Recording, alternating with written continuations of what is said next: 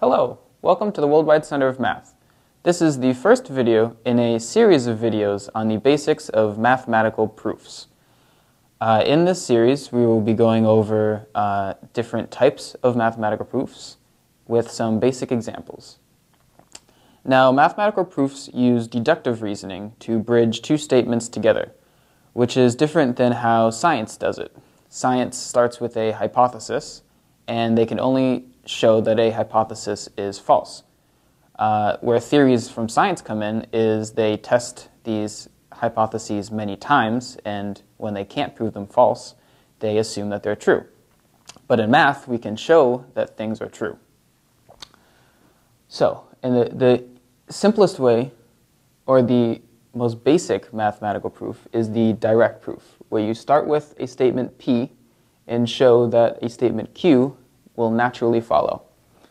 And the basic structure of a direct proof is to suppose that P is true, and then use logic and axioms and definitions and uh, already proven mathematical facts to show that Q is true.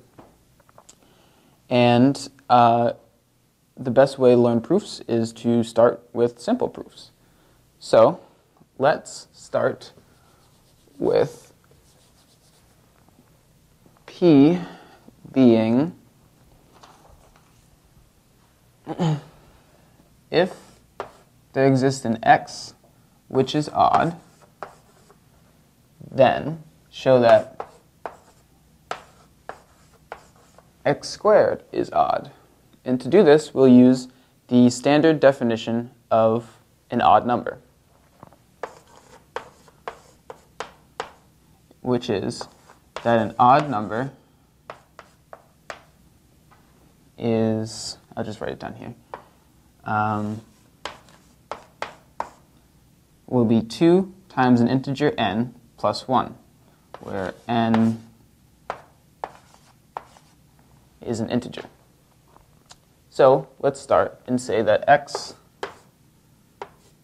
so let x equal to 2k plus 1, where k is an integer. Then we go x squared, which is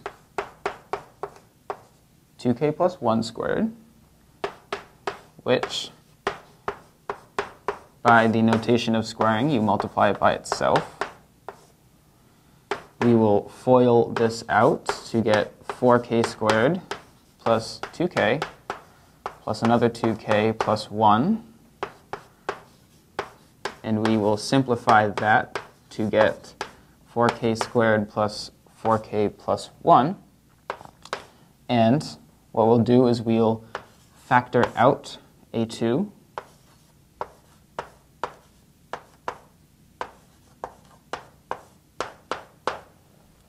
And now what we'll do is we'll define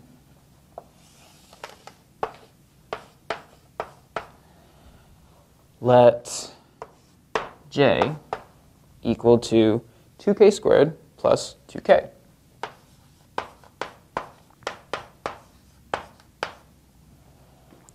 Uh, now, k, uh, j must be an integer because it's defined through k, which is an integer. And therefore, x squared is equal to 2 times j plus 1, which matches our definition of an odd number. And therefore,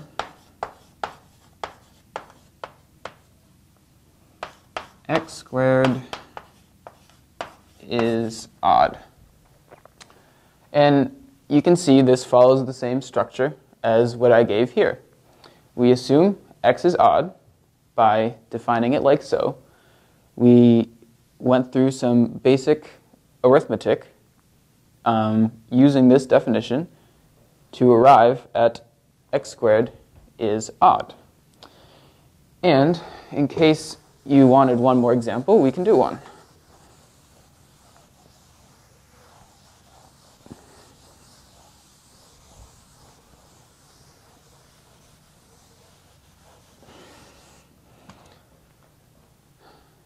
Let's say for our p, if we have, um, let's see,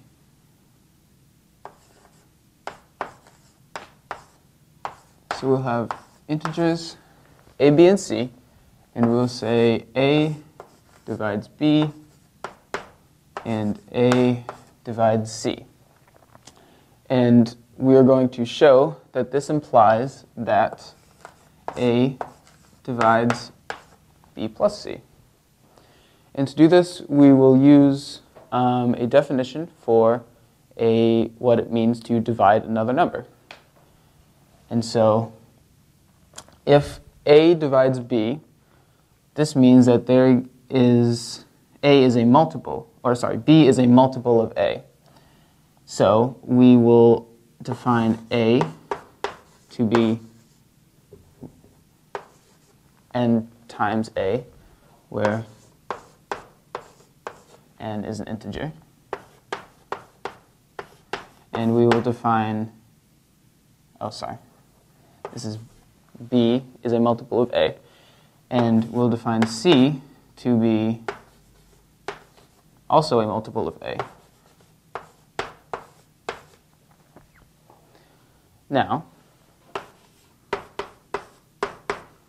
the b plus c is na plus ma. We can factor out that a.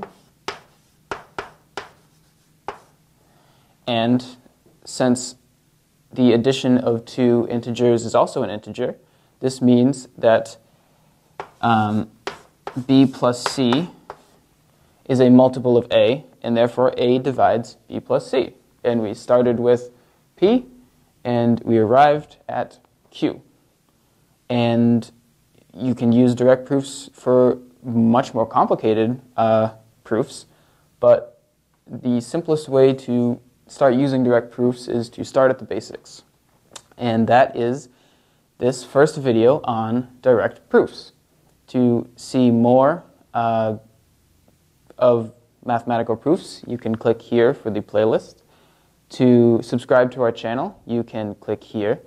To visit the centerofmath.org, you can click here. And if you're on a mobile device, there is an eye in the top right-hand corner, and you can click that for the same links. Thank you for watching.